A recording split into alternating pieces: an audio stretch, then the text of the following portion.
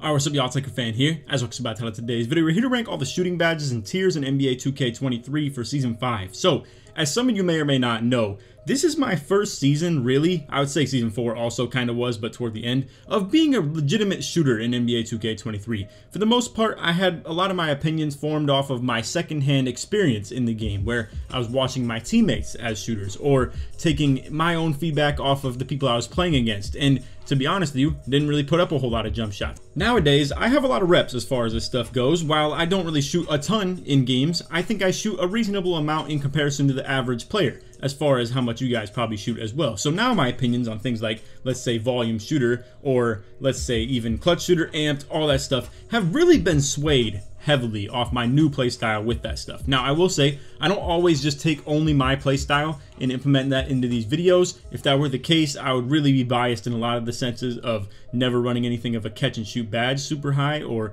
anything to do with Claymore, etc, etc. But in today's video, we are here to re-rank the badges. As you can see at the bottom, the text color indicates the Season 4 ranking. Now, to explain this real quick, I forgot to put Middy Magician in the last video. Apologized for that already. But besides that, we had guard up, for instance, in the F tier, corner specialist in the E tier, slippery and comeback kid in the D, and so on and so forth. We didn't have any C tier badges at all. But I hope you guys enjoyed this video. If you do, for to drop a like, so if you're new to them, noties, all good stuff, and like always, tries one to 2,000 likes. Alright, so to start us off, I'm going to start with the lower tier badges from my last season ranking, where we had things that were either like D tier and below, essentially. So, as you can see, we have Middy Magician Corner Specialist coming at the C tier. I, I kind of ironic, to be honest with you, that Corner Specialist moving up in this list. Now, this is mostly credit to 2K Labs for retesting this badge. A lot of my opinions were formed off of their video of Corner Specialist originally, and this is this has been improved a tad bit to like a 5% increase of your shot making on a Hall of Fame level. To be fair, I think that really varies level based on the level of three-point rating you have on your build. Maybe it's more important for the lower three-point rating builds to run this, maybe it's less important for the higher rating builds to not run it. Simple as that, in my opinion. Now,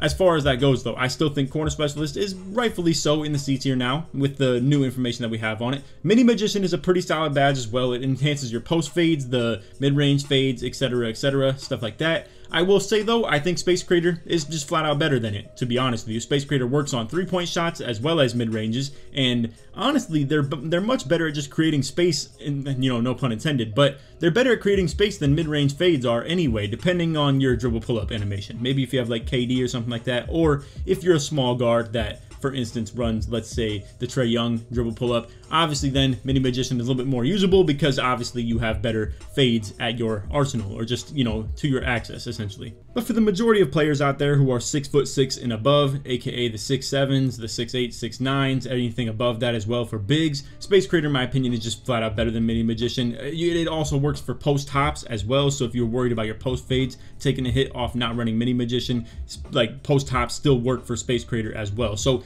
anything that you would want Middy Magician to do, Space Creator just does better, in my opinion. Besides that, though, with these C tier badges, down to the D tier, we have Slippery and Comeback Kid. Comeback Kid, it kind of just is what it is, bro. It's not that useful. Even when it is useful, it's going to be in a very specific niche way, and we don't even know how well it actually boosts your stuff. So, to be honest with you, I just don't care for the badge that much. I don't see anybody in the game really care for the badge that much. If you have a difference in opinion on this, feel free to leave in the comments as well. I'd love to hear your feedback on Comeback Kid and if you actually value this badge. To me, this maybe could be useful in rec if you play with randoms and maybe you're going to be down a little bit more than me. And again, this is where maybe my experience in the game has really like, you know, taken a different course than some people's would and maybe I'm biased against this badge because it's not often that me and my teammates because I play with full 5 very consistently are down very much when it comes to pro-am or rec center or anything like that and it's not often that this badge is really needed for me or us or anybody for that matter. Now that varies with the 5 out team. We're a little bit newer and we have been in a little bit of the, those closer games and stuff like that. So maybe comeback kid is something that could be worth trying as far as that stuff goes. But to be honest with you, like I said, I think this is more so for players that maybe are in the tight games, like, you know, maybe trailing in games more often than you're not. Uh, but even at that, I still don't know what the badge boost really looks like for that matter either. So to me, Comeback Kid is kind of just a D tier badge. I don't value it, especially with the build that I run or anything like that. And while it may be tier 1 for a lot of your badges and builds, I still don't think it's worth running for the most part. But other than that, Slippery Off Ball, I saw the test that Labs did on this, and it was low-key looking kind of fire as far as the speed boost that you get off of doing the right stick moves. Only drawback is the right stick moves are mad troll. Playing with randoms and just, you know, a random like freelance five that you're gonna piece together or even just friends that you're gonna play with too, they're gonna they're gonna see that stuff and not really respect it at all. And for that matter too, it's just hard to fit into an offense. I mean, to open up the entire perimeter for a dude to just sit here and wiggle his stick around, pause on that low key, but anyway, for someone to just, you know, flick their right stick back and forth trying to just get open, it's not realistic to open up your entire offense for one guy to do that stuff. But I will say the Hall of Fame level looked really interesting as far as that stuff goes. Anyway, regardless though, I still think they're pretty bad badges. Not really worth ta talking on a whole lot. Guard up is in the F tier because I still believe this badge does not work, period. And I think it would be good for the game if it did. Ghost contests are ridiculously good, but this is me beating the same drum I've been doing for five seasons at this point. I've been talking about guard up, how it would be really good for the sake of the game if it actually worked. But to be fair, maybe then as a defense you would be irritated at it and, you know, maybe ghost contests are good for the game. But regardless, people don't even have to put their hands up to contest shots these days with super high challenger. You can literally just walk into the guy, and I do this on a lot of my builds, especially the ones that don't have block and don't have great vertical or anything like that. And at least when you have bad block, it doesn't give you good jumps on the perimeter, is just kind of what I've seen. But Regardless, on my builds that don't have the good block rating and I can't get those good jump contests, I just run right into people with my gold challenger, silver, silver challenger, whatever the case may be, and you get good contests doing it. It doesn't make sense to do anything different because obviously if you jump at them, you could get a foul. If you put your hands up, you might get a slow animation that sometimes has to like shoot down and then up,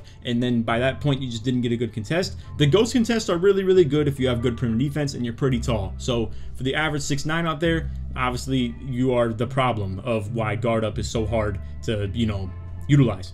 Alright, next up we're going to replace all of the B tier badges from last season. So we have some still scattered in the B tier and the only ones that are moving anywhere are going down to the C. So Moving down, we have Clutch Shooter, Amped, and Volume. Staying in the B, we have Space Creator, Green Machine, and Deadeye. So we'll start with the bottom ones. Clutch Shooter and Volume to me are more accessory badges and they need to be treated as such. I think it definitely makes sense to put them in a tier below the B tiers right here with the Green Machine, Space Creator, and Deadeye. To be fair, Space Creator is also kind of an accessory badge, but it depends on the playstyle. And I gotta say, the power, period, of the badges, you can definitely feel that Space Creator and Deadeye are better, period, than Clutch, Amped, and Volume. The problem is that with things like Deadeye, it's obviously tier 3 for a lot of builds, right? And then things like Clutch and Volume are tier 1. So you could run, let's say, if you're trying to run Hall of Fame Deadeye, for most builds that's 8 badge points. Whereas if you run Hall of Fame Clutch and Volume, that between the two badges is worth 8 badge points. So in the overall grand scheme of things, I do agree with you guys that if you were to spend 8 badge points, you would rather do it with Hall of Fame Volume and Hall of Fame Clutch versus to just run Hall of Fame Deadeye. But the whole point of this video is to talk about the power of the badge, period. Simple as that. And Deadeye, if it was a tier 1, imagine this. Like, if imagine if Deadeye was a tier 1. You bet your life on it that you would run Deadeye over Volume, or Deadeye over Clutch, or Deadeye over Amped. Simple, easy, right? But it's the fact that it's a tier 3. So, the badge itself is not bad. It's still a very good badge. It's just the fact that it's constantly tier 3 and it's not as worth as the other tier 3s. Let's say between being a 6'9 as a pick and popper or a spot up that you would have to run, catch, and shoot on. Or as a point guard running Limitless Blinders or Agent, you're not going to run Deadeye over those as obviously a tier 3 as well. You need to have these three badges. So my whole point on Deadeye long story short, and to kind of counteract the points of the ones that are moving down here, is that it is a much better badge than these badges. But Obviously, the badge tiering is something that I don't factor into this video. So, go into it with a grain of salt as far as what you run in your own build. I'm just saying that the badge itself is better than these three down below. So anyway, clutch, volume, amped, accessory badges to me. I really never kind of, like, I never estimated how much amped can really be avoided, to be honest with you. If you run a structured team as far as having a good bit of offense on the court, from rec center to park to even comp pro am 5v5 the way our team is structured and set up where we have a lot of offensive options I don't even think tired shots are even worth taking for a point guard, to be real with you. I don't think if you have drained your stamina all the way down to below half your bar, that it's even worth you taking a shot. I say pass it off to the next guy. Give it to your two guard. Give it to your corner that has a small PG on him. Give it to your pick and roller in a mash or something like that. But to me, I don't think shooting tired, even with Amped on Hall of Fame, is worth it in, in contrast, if you ask me. So that's just my take on it, and I will never run this badge on my types of builds because obviously for me, we run more of a five out style where I can just resort to a little bit more of a rim run if I'm low on stamina, or just in general, like I said, move the ball somewhere else and become a pick and roller or a spot up at that point, and then my stamina is perfectly fine after a couple of seconds or even half a second for that matter. So that's my take on Amped. My realistic look at it is that the average player does not need this badge. It is literally just a small point guard badge, and even for that matter, I would even argue just a small point guard in the comp pro-am that runs pure defense 3 through 5 and all you have on offense except for yourself is a two guard. After that, I don't think this badge is exactly worth it. And same goes for volume and clutch. They're good badges, don't get me wrong, but I still stand by the fact that they're accessory badges. And to be fair, they can be very good accessory badges too, but let's be realistic with it. Obviously, volume, you have to get a good amount of threes up in the game to actually see the difference in this stuff. If you're just the average player that shoots about two to three three-pointers a game, whether you're a two guard, whether you're a, a spot up, whether you're even a five out point guard, like for me personally, I'm shooting probably at most three threes a game for sure. And I don't need volume. I don't think it really like is worth it. Same goes for spot ups. You're probably getting at most like I'm gonna say at most five three pointers in a game, and that's a crazy, crazy game for you. In a realistic set of games, you're probably getting around two to three shots as a spot up. You know, like whether you're a two guard on catch and shoots. Uh, to be fair, the two guards can vary as far as pro am goes because obviously they can be invested in the, they can be involved in the offense in a different way. They can create their own shot and stuff like that too. But as far as the corners though, and like pick and poppers, why would you ever run this badge? I'm gonna be real with you. I don't think it makes sense. And same goes for clutch. Obviously, this badge is very limited in its access of you know just being used. Now I will say I've learned a bit about clutch shooter recently, so running it on my on my own build and testing this stuff I've noticed that it activates at the end of each quarter, like within the last last minute of each quarter. So first quarter, second quarter, third quarter, fourth quarter, last minute, it activates at the free throw line. Now, as far as its actual activation of shots, I believe it's more so like really, really late third quarter, and then all of the fourth quarter as well, and then obviously any overtime period as well. So that's my take on Clutch Shooter. The problem with this badge is it only works about 25% of the game, you know, or maybe 30% if you want to give it a little bit of credit as far as the last minute free throws of a quarter go. So realistically, to spend badge points on something that only boosts your last 30, like you only boosts 30% of the game, I don't think it makes a lot of sense. But on the other end of things, it's the most important part of the game too.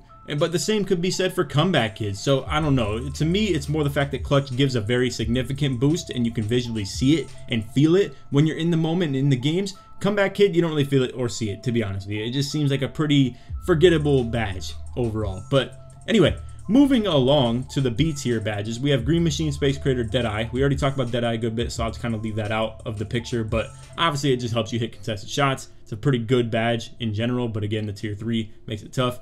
Green Machine, I am very back and forth on this badge, and I think it very much so depends on your playstyle. If you are chucking shots constantly, I don't recommend even running this badge, period. I think like the idea of you running this badge, if you're a constant person that shoots maybe 38 to 40% from three, but you put up crazy amounts of shots per game, whether it's just a team that has like an outside PG that just hunts three all day and has a block sitting big man at seven foot two with like 99 O board down there, it, really, to be honest with you, it's a good badge investment because obviously, if you get your shots going and you're in a really good groove of things, obviously it can start piling up on top of each other. Then you can hit contested after that, and it's hard to stop that snowball from rolling until you end up just shooting a horrible shot. But I will say too, when running this badge, you have to move with a little bit of caution. You have to really keep in mind that you cannot chuck up those late clock, you know, like shot clock shots or anything like that. It, to kind of draw my example of what I'm talking about here.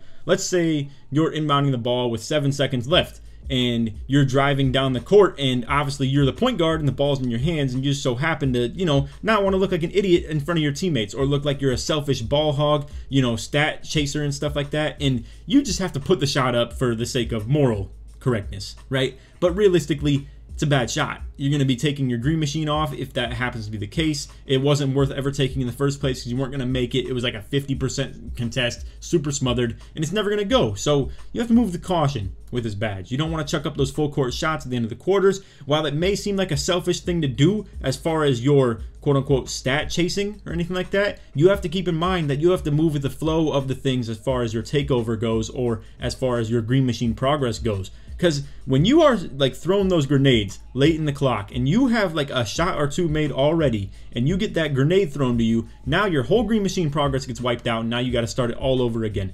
It's not exactly a great badge to run, but I still think B tier is a good spot for it because for the efficient shooters and stuff like that who maybe shoot just wide opens, simple as that, Green Machine's a great, great badge. Like, if you are very good at shooting open shots consistently, I really, really love this badge for sure because obviously it's one of the best things you could possibly run, especially on the Hall of Fame level. But like I said, for the shot chuckers out there who are going to be putting up like 10 threes a game and they probably shoot like 4 for 10, 5 for 10 at best, stuff like that. I don't know about Green Machine, man. I'm gonna be real with you. That's my personal take on it. You can disagree. It's okay. But anyway, moving along to Space Creator. This is also the B tier. I think this is a really, really good badge for the for the specific niche like community that does this stuff. I've seen it with Joey, I've seen it with Tonic, I've seen it with Nut, I've seen anybody that utilizes these hop jumper shots that Space Creator goes crazy for. And I've seen the 2K Labs videos, the Space Creator on Hall of Fame level goes insane, and you don't really need a super high mid-range or three-pointer to even run this at the Hall of Fame level. But anyway, moving along, we have a couple badges moving down from the A tier to the B tier. Now, I want to explain myself on this a tad bit. So, I know for the corner spot, spot ups and the catch and shooters and stuff like that, Claymore and catch and shoot are the two most significant badges you could possibly run. But let's talk about the power of the badge, period. Okay? So, Claymore and Catch are still both very good badges. I would argue they're probably the top of the B tier. They're better than these three right here. Arguably Green Machine, but I don't know. I mean, that depends on who you are. But let's just be real with ourselves real quick. If you see the rest of my list right here, where we have Limitless in the A tier, Agent 3 in the S, and Blinders in the S, have you ever ran into someone that you're playing against and you are like, oh my god, they have Hall of Fame Claymore. Respect the hell out of that dude. Hall of Fame catch and shoot. Oh my god, we can't leave him. We can't do anything like that. Have you ever felt truly intimidated by any of these B tier badges? Have you ever been like, oh my god, someone has Hall of Fame Green Machine. Someone has Hall of maybe Deadeye for that matter. But Space Creator, sure, maybe a little bit. But Claymore catch, th these are just badges that are pretty respectable badges. But when you compare that to the fact that Limitless, just when someone has us on Hall of Fame, feels very intimidating, and the fact that someone has Hall of Fame blinders, it's not only intimidating, it's overpowered. People can truly just crab you, get you on the side of them, get you behind them, and there's nothing you can do about it after that point. And Blinders just carries a lot of people. And Agent 3 is a staple badge. Like, you have to have this as a ball handling three point shooter. And it's a significantly overpowered badge for that matter, too. And it, these are intimidating badges right here. These are ones where if you're going against someone that has these on the Hall of Fame level, you have a problem. With these right here, with Claymore and Catch, honestly, it doesn't push the needle that much, if you ask me. It doesn't make you truly afraid of anybody, and that's why I feel like they belong in the B tier instead of the A tier.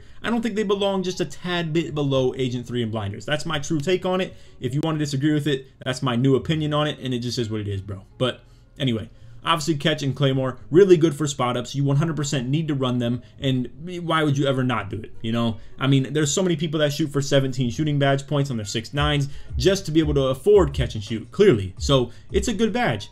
You know, it's definitely the best B tier badge that's in this in this list. Same with Claymore, also the best B tier badge. Like these are definitely ones that if I sorted them from top to bottom, they'd be at the top, and things like Space Creator and Deadeye and Green Machine would be below them, obviously. But anyway, Moving along, we have Limitless. This once again is going to be a really intimidating badge as far as pick and roll goes, but the reason that I have this down to the A tier, and you may be wondering, like, I'm hyping it up, and you're like, why is it in the A tier then instead of the S?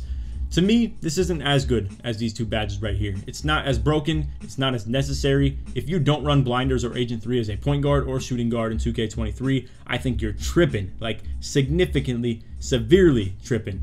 Limitless though, I think you can get away with not even running this, to be honest with you. I think it's more of a like elite accessory badge where you need this as a point guard if you're a true pick and roll team, in my opinion. You have to extend that range. You have to be able to shoot from super deep.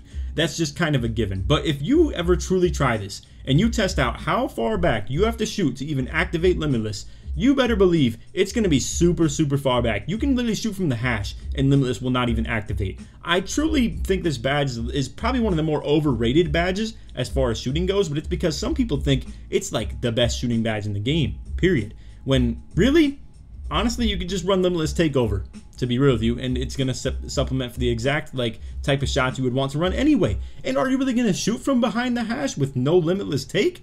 I don't know, man. Some people maybe, but I don't know. I think you need to have 99 three-pointer and Hall of Fame limitless until you actually feel like a true, true significance of running this at the same level that you would respect Blinders and Agent. And even at that matter, I, I still think these badges are significantly better. So let's talk about them too. Blinders, we just talked about. If people get you behind them, to the side of them, anything like that, you're done for. It's as simple as that. No matter what your challenger is, no matter anything like that. And obviously their level of blinders truly does influence that a good bit. If you see the difference between silver blinders and Hall of Fame blinders, you will truly like see some crazy stuff with that. And not to mention the difference you can even run in silver and none. Uh, blinders is a really, really good badge. It's hard to explain the type of shots that it creates, but it's a lot of them. I mean, anything to do with like not just getting contested from directly in front of you is going to be blinders carrying. And even for that matter, it can be somewhat in front of you too, even still. But anyway, that's still my take on blinders. I think this at a really good level is clear, clearly something that is very dominant. And